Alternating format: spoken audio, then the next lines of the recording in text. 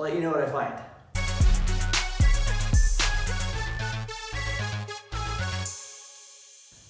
Hey, good morning. I'm about to do my workout, but I thought, oh, I picked up from my Amazon locker yesterday, I picked up a little camera. This is a AKASO. It's like a competitor with GoPro. Now I've got a GoPro, but uh, I saw this reviewed on Amazon and everybody loved it. It looked like it and that the price was really affordable. So I grabbed it. I'm gonna open it up right now, put an SD card in it, charge it up, and then put it to use. I'll let you know what I find.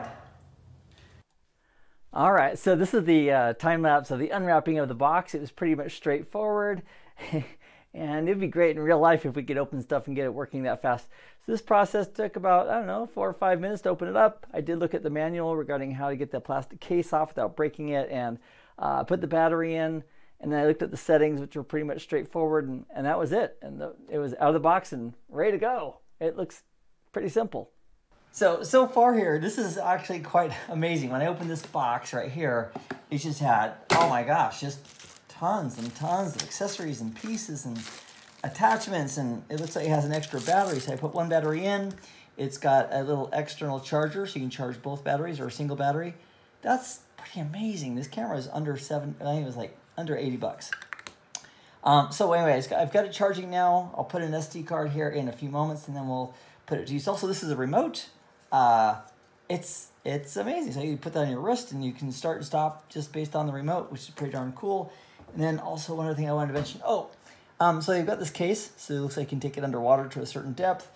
And uh, this plastic case here, uh, my first impression is that it feels like this feels really cheap. Um, however, as far as the outside plastic is concerned, I'm not too concerned about that as much as I am the actual pictures. And oh, look at that. So, I also need to take off all the plastic coverings. So I'll do that as well. That won't be fair to try to get good images through a little plastic protective piece. No, no. Yes, you're coming off. Ah, I'm free. I'm free. Okay, so um, uh, there you go. There's the camera. Uh, I'm gonna let this charge for probably 30 minutes, and then I'm going to uh, have this record me uh, doing time lapse on the uh, on my elliptical this morning. Up to this point, everything up to this point has been done on my iPhone, including the unboxing and the time lapse for taking it uh, out of the box.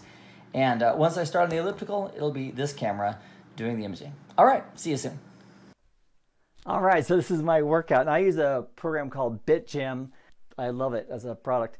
And so I did uh, Cardio Coach uh, episode one, which I think is about 30 minutes. So normally my workout starts closer to 6 a.m., but I did give myself a little time to unbox the camera and charge it up. And so I think based on the timestamp, I started my workout closer to 7. Okay, and also I set the timing for the time lapse to one frame every second. I think there's also options for every half second and every uh, 100 milliseconds and so forth. The other thing is when I connected this to my PC uh, to go ahead and download the images, it was a no-brainer. Uh, so I have the, S, the micro SD card in the actual unit right here. And when I connected it to my computer, the menu came up and said, hey, do you want to use this as a camera or as a storage device, meaning access to memory? So I just used the up and down arrows, selected use as a mass storage device, and then my computer saw it and I just brought the files over. It was really, really easy. So even though there's a lot of additional options and features on the camera, I don't know that I'll be using all those extra features. I just like the high quality and how simple it is so in the final analysis, for under 80 bucks with all the attachments and the quality of the video and the features it has, I would say this is pretty much a no-brainer. Now, one of the other factors that plays into the decision on this also is uh, sometimes devices fall off, they get broken, etc. So if this costs 80 bucks and we have to replace it once or twice because of an accident, we crash or uh, it drops, we smash it, we run over it, whatever it is, not that expensive to replace compared to uh, a GoPro, which is a great unit. GoPros are great, but they're really pricey. So that also factors in.